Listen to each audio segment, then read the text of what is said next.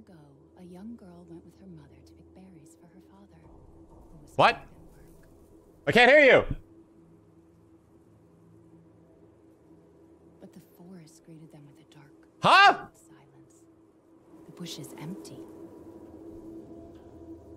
Yet determined to find the berries, the rascal broke free of Mother's grasp and vanished. Resident Evil 8. Mother's worried cries faded fast as the girl ran on, over vine Resident Evil 8. branch, and into the forest deep. What is it with that creepy story? It's just a local tale.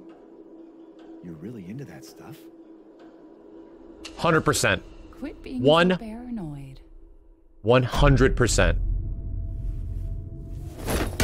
No, no! Friendly! Ow. Friendly! Who are you? Who sent you? What's going on? Hell yeah, dude. Fucking hell. Look at this shit.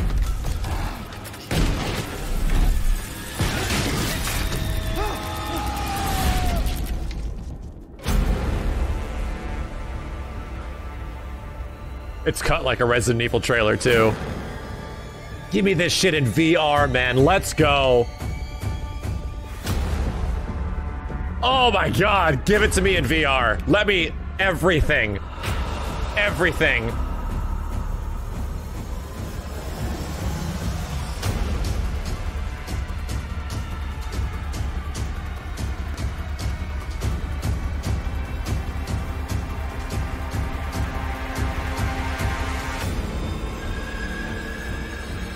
I love everything about this so far. I love everything. I love everything about this. That was is that me? That's that's me.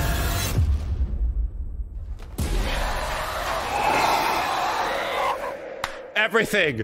Give me it. Resident Evil 8. Yes! yeah, let's go. let's go. Chris? Sorry, Ethan.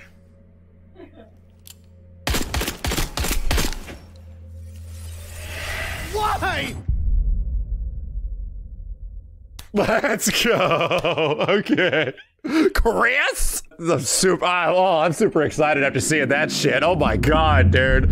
Yes. Okay, feeling better. I'm feeling better. oh, dude, Resident Evil 8 comes out in 2021.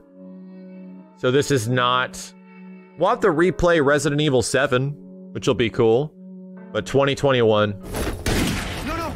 Damn, rough ass frame rate, dude. What the fuck? Why is it running at like 15 FPS? What the hell is going on? I was hoping it was a stream issue, but it's not. It's in the core trailer. I'm a little, I'm a little concerned about the performance. Yeah, all the leaks from that dude were true. All the leaks were true. Uh, I'm super down, right? I'm super down. I hope, I, I hope they figure out the performance stuff before it comes out. This will most likely come out on PC at the same time as PlayStation 5.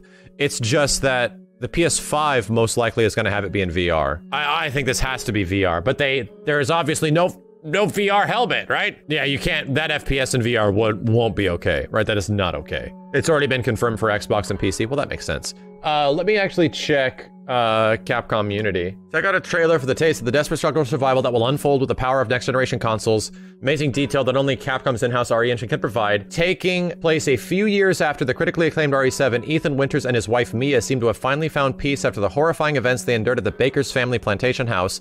Despite putting the past behind them, a surprising yet familiar face returns in the form of Chris Redfield, whose shocking actions ultimately cause Ethan to end up in a mysterious, snow-covered village.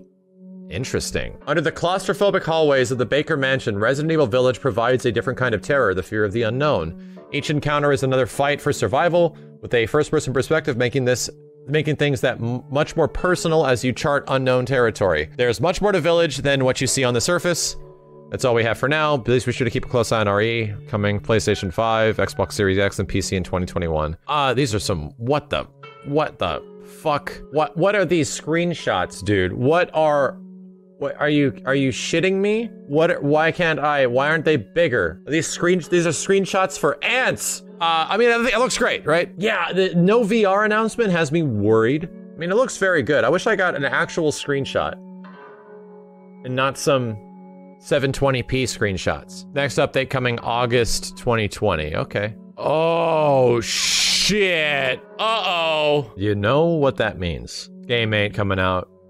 There's a low chance this game is coming out next year. Uh, yeah, this game is, is most likely early 2022. The shit is far away. And I, I, think what we're seeing in the trailer, the performance issues we're seeing in the trailer, might be representative of why this shit is tentative. We're gonna learn more about Resident Evil Village in August, but don't hold your breath. I think, yeah, late 2021 at the earliest is when we're gonna possibly see it. At least a year and a half from now is the earliest this game comes out. The very, very high likelihood that this game comes out maybe quarter one, maybe quarter two, 2022 this game's two years away. Yeah, that kind of stings. I was hoping that this was going to be like a close to launch game for this, but I think the reason for this might actually be they might want to catch up with PSVR 2. That would make sense. PSVR 2 needs to be out, right? That that needs to exist. That's cool. Uh, it's just that I don't want to be.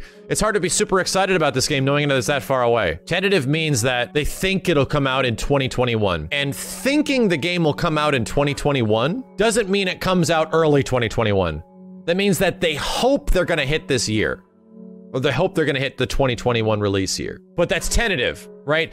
Or, uh, by putting tentative next to a whole 365 days doesn't mean you launch it in the first 90 days. It means like, all right, we don't know what's happening. And I think a lot of things in a lot of the, the, the performance issues that we were seeing in the trailer are sort of representative of that. There's there's still some they got to work out some kinks. Rumors said that they restarted everything uh, a few months ago. I did hear about that, right? I did hear that this potentially was even Resident Evil Revelations 2 for a long time, but then they sort of revamped everything. Oh, sorry, Revelations 3. Yeah, I forgot Revelations 2. There was some rumors about there being another Revelations game somewhere down the line that some leaker was talking about.